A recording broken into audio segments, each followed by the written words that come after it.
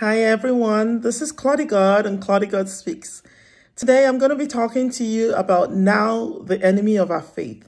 Now, as in now, the enemy of our faith. Praise the Lord.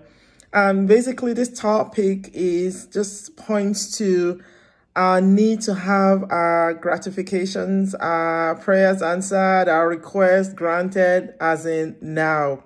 I think, I believe that a lot of us know exactly what I'm talking about.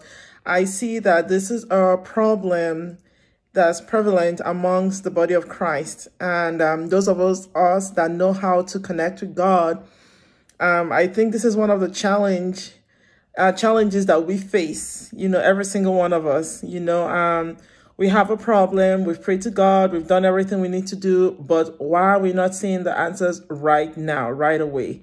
I know many of us can testify, and the Lord will help us. I'm, I'm praying that through this ministration, the Lord will speak to our hearts and reveal certain things to us that will help us on our journey and help us to, um, you you know, as we as we trust in the Lord, as we wait on Him, that it would help us to in the process and understand things from God's perspective. And the Lord will help us indeed in Jesus' name. Amen. Praise the Lord. Um, as I usually do, I would start with just about a minute of worship just to usher in God's presence and we'll get right into the word. Praise God. Hallelujah. oh, faithful God. Oh, faithful God. You lift me up and you uphold my cause. You gave me life. You wipe my tears. You're always there. You are faithful God. Oh, faithful God. Oh, faithful God. You lift me up and you uphold my cause.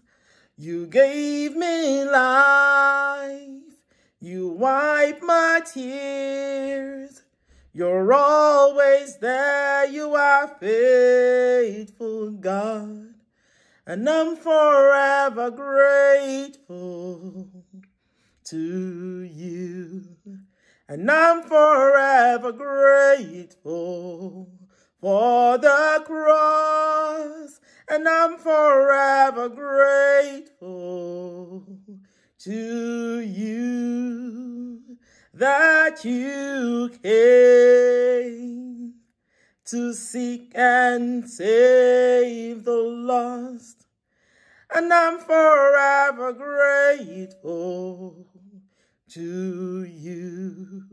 And I'm forever grateful for the cross and I'm forever grateful to you that you came to seek and save the lost. Hallelujah. Faithful God, faithful God, faithful God.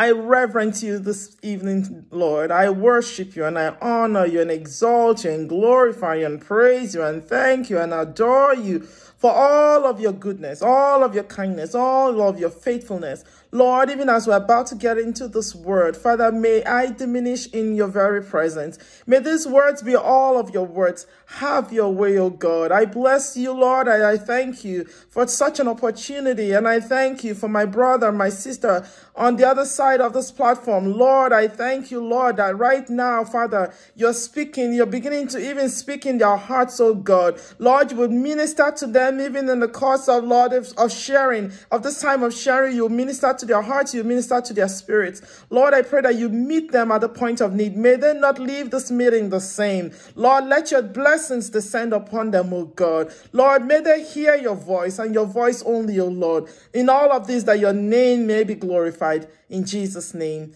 amen. Hallelujah. Praise the Lord. Hallelujah. So, like I said, we're sharing on now the enemy of our faith. Now, to obtain the promise, we need to mix faith, love, and guess what? Patience, yes. Patience, patience. That is a thing that I don't know if I like to hear it, and I'm sure you do not like to hear it. There's just something about patience when you need that answer right now. And that's why we're having um, this time of discussion. And the Lord will help us. Praise God. I have a scripture here. It says, faith works with patience. Faith works with patience. He said, really? Yes. Let's go to James, James chapter 1, verse 3. Praise the Lord. And I have it opened up here in my Bible. So I'm going to actually start from verse 2. It says, Consider it a great joy, my brothers and sisters, whenever you experience various trials, because you know that the testing of your faith produces endurance. Some scriptures say patience. And let endurance have its full effect so that you may be mature and complete, lacking nothing. You may be mature and complete, lacking nothing. Lacking nothing. Faith working with patience in trials. What is a trial? A trial is when you're going through something that is very uncomfortable. You want to be done with it. You don't like it. It's uncomfortable. You feel miserable. You're wondering, why is this happening to me? Where is God in this? You know, you're praying, you know, but it's, it's still sitting there. That is a trial. Very uncomfortable. I know it. You know it. And the Lord will help us in Jesus' name. Praise the Lord. So another scripture that I have here is we walk not by sight, but by faith. That one, that one is pretty popular. We walk not by sight, but by faith. We walk not by what we're seeing, but by faith. And for us, that's a huge, huge, huge challenge. I think a lot of people don't feel like they're there. How can this be happening to me? And you say, I shouldn't give this report. I should be, shouldn't be moved in my emotions by what I see, but just by faith. What is that? You know, I know oftentimes we've felt um, pressure to ask that question. You mean you see maybe uh, your loved one is just sick and you don't, you, you shouldn't walk by sight, just trust God, really? You know, or you're laid off work and the bills are piling in and don't just walk by faith. Really? Where is God? You know, I know this is a question we've all asked. Or you've um, you're advanced in age and you're a lady, you haven't, where's the guy? Where's the, I've been trusting God, don't walk by sight. How can I not walk by sight when I feel lonely? How can I not walk by sight when I want my female needs to be met? How can I walk, not walk by sight when my biological clock is ticking? You know, how can I, those are questions you know, and I understand that those are questions that we ask. And I understand that as a human being, you know, and I totally do. And the Lord even more understands those, right? Praise the Lord. And we're going to talk about a little bit about somebody that walked the same in the same shoes as we did. Praise the Lord. Now, I'm going to be reading Romans 4 20 and 21. This is our father and uh, the father of faith, Abraham. That's the one I'm going to be talking about just for a little bit. It says, Abraham staggered not at the promise of God through unbelief, but was strong in faith, strong in faith, giving glory to God. And Abraham being fully persuaded that what the Lord had promised he was going to he was going to perform. Now, if we read through the story of Abraham, we gather that when God first first gave him the promise of um, his son Isaac, he was about 75, and this was at Haran, right? The son of promise, he was given to him at 75. And we understand that that son didn't come until 25 years later. Abraham turned 100 years. So it took him 25 years waiting on the Lord and see what God had to say about him. You know, God, you can tell God is proud of him. And now we call him father of our faith, right? Um, he said, the Bible says he staggered not at the promise of God through unbelief, but was strong in faith, giving glory to God. And he was fully persuaded. That's my most favorite part there. Fully persuaded that what the Lord had promised, he was going to perform. You know, I think if we didn't even study anything, we've gotten everything out of the scripture. You know, I'm just going to pull one or two things here, a couple of things that I, I'm sure that are also obvious to you. Abraham staggered not at the promise of God. So he, the fact that they're even mentioning it means that was, he had that option, right? To waver and wonder, you know, hmm, you know, did God really know what he was saying? Did he already know I was kind of uh, um, advanced in age? I'm an older guy. Um, but the Bible says he staggered not through unbelief. So I, the way I look at it, I think it's a resolution that is up to us. He, he could have chosen to not believe God. That's why everyone's not Abraham in the Bible, right? There's not like all the characters in the Bible are Abraham. It means it was one guy that singled himself out to trust God, to stay focused, to stay focused. He had ample reasons, not just himself, even his wife. We know typically when you're already like what 35, 36, they already doctors already telling you all the things you can do and how you're high risk, etc. Now imagine his wife being advanced in age, her, her age being advanced in age and having to want to believe in their 70s, 70s through close to 100, having to want to believe that she would have a she could have a child. So I don't know if anything can stretch us more than that, you know. So what I want to encourage us here is if Abraham as a model man as us could hold on to God and not stagger in faith and believe God's word, we can. It's a choice. It's a choice. And I, if you look at the story, you see clearly something. He chose not to walk by sight, but by faith. Like I read in 2 Corinthians 5 7. He chose not to walk by sight, but by faith. Now, another thing that, um, another way that Abraham is recognized that he says, being fully persuaded, fully. Again, I think in that case, that onus is also on us. Being fully it's it's a choice. He I I believe that he spoke to himself. He there was something inside of him that says, you know what? I'm going to believe God. I'm just going to. I'm just going to. I want this thing so so much. I want it so much, but I'm I am going to. So I believe that when he says fully persuaded, it means he convinced himself that what God had said he was going to do, he was going to do. And another key ingredient, he says, giving glory to God. I love that. Giving glory to God. He didn't just sit down there, oh God, when, oh when, when, when, you know, all grumpy or grumbling or complaining. You know, we know stories like that with the children of Israel when they left Egypt and they were going into the promised land, grumbling, grumbling. No. Being fully persuaded, Abraham gave glory to God. He praised God. Now, like I said, we, there's so many things we can coin out of this and emulate. After all, he's called the father of our faith, right? So number one, you don't want to waver at God's promise. You don't want to stagger. You don't want to be, you know, ah, I don't know. I don't know. You said this thing. I'm like 10, you said that you will give me a husband and I'm five years into it, 10 years into it. He staggered not. Secondly, he had a good attitude. He gave glory to God. He praised God regardless. And also, if you read the story, you see that he kept fellowship. He didn't give up. He didn't quit. He didn't say, this God, this thing doesn't work. He gave glory. He stayed in fellowship with God. He would constantly build an altar and fellowship with God. He talked with God a lot and he stayed in faith. And I'm wondering if all those times he didn't feel tempted to say, God, when? You know, I mean, how can I be hanging out with you and this need not being met? You know, you can just snap your finger. Why are you taking so long? The Bible doesn't say that he questioned God that way, that he, you know, he, you know, he was in that, he, he was caught up in that situation. The Bible says he staggered not. He gave glory to God. He was fully persuaded. If you don't hear anything today, I want you to hear that. Actually, I want you to hear everything. But I want you to let that sip in your spirit. He was fully persuaded. He wavered not. He didn't have, he wasn't doubting what God had said. And he gave glory to God. Right? And the Lord will help us in Jesus' name. Another scripture here says, uh, is in, it's in Isaiah 40, 31, says, Those who wait on the Lord shall renew their strength. They shall mount up with wings like eagles. They shall run and not grow weary. They shall walk and not faint. Those who wait on the Lord. Remember, we're talking about now the enemy of our faith.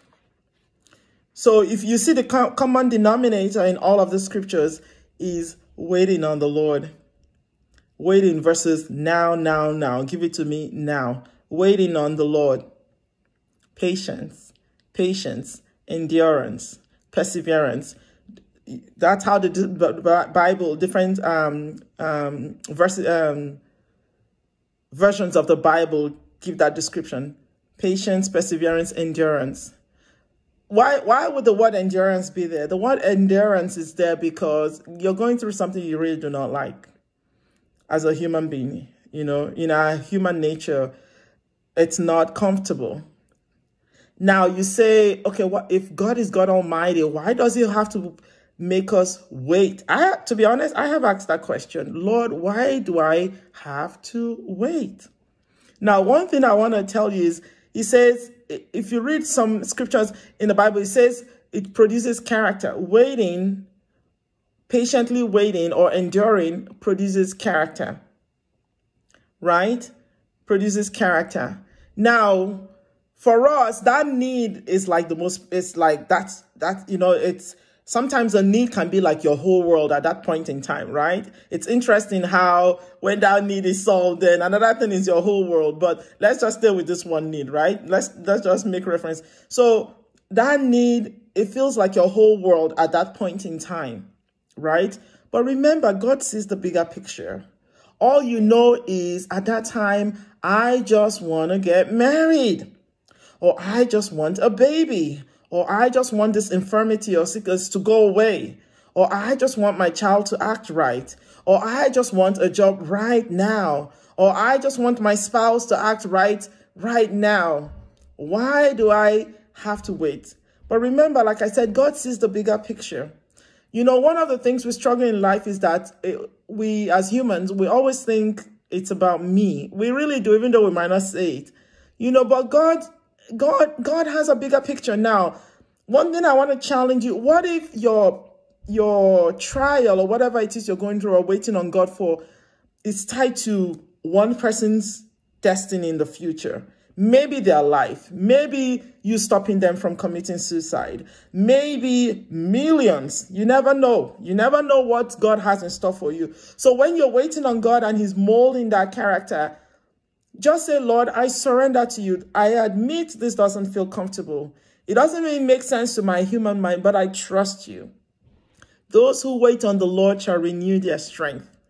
They shall mount up with wings like eagle. They shall run and not grow weary. They shall walk and not faint. I trust you. I trust you. I know you got my back. I know that you're looking out for me. I know that you've heard me. You have to know that God has heard you when you pray. You have to know, you have to know that God, God is looks out for you. Okay? And the Lord will help us. He would help us. Praise the Lord. Now, there's one final scripture I have here. It says, Hebrews 6.12, Be imitators of those who inherit the promise through faith and endurance. They inherit the promise through faith and endurance. A lot of us abort our breakthrough because now, give it to me now. And then you'll begin to think, ah, this faith thing, I don't even know if it works. Then you start complaining, then you mess it up.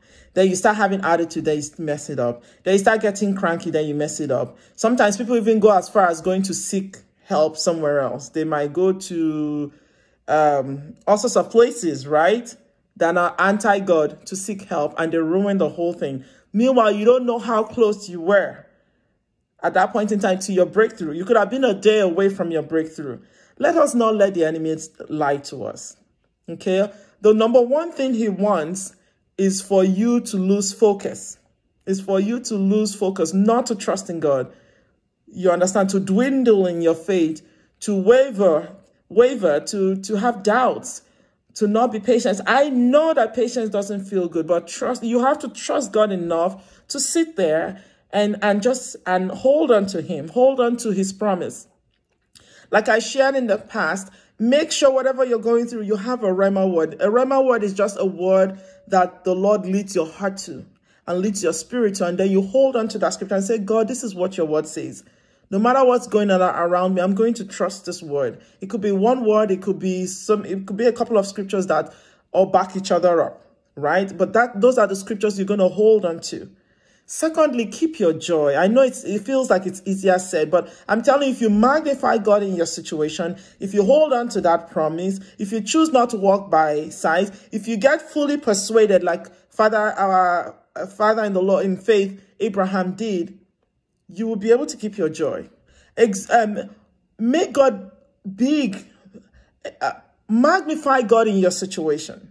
Magnify God in your situation. Okay, magnify. Don't keep whining. The more you talk about a problem, the more you're kind of just gonna be in that cycle. It, you you you make you feel it more. I, I'm talking to you now as a real person. You're gonna feel that pressure more. You're gonna feel frustrated more. Okay, so just worship God, spend time in God's presence, and give Him praise, study the Word, walk in love, walk in love. Sometimes also that might be the thing that God is really testing you on. Okay, so it's not just God wants to see your love walk. He wants, and that's one of his major commandments. Even though people don't talk about, we talk about giving money and all those things, but walking in love is very key to God. Your heart has to be pure. You have to walk in love. If you want to get your breakthrough soon, if you want that um, endurance to be quicker, make sure your love walk is up there. Look for somebody else to minister to. Be kind to others. You understand? Be a blessing. Sow a seed into somebody else's life. Do you understand? So while you're walking out, um, um, you're, you're waiting patiently for that breakthrough, make sure you're walking, even if it's a long time, be consistent. Do you understand? Keep a pure heart, be consistent, walk in love, and walk in um, endurance, right? Walk in patience. You understand? Uh, there's a saying, they say, uh, uh, delay is not denial. That's true.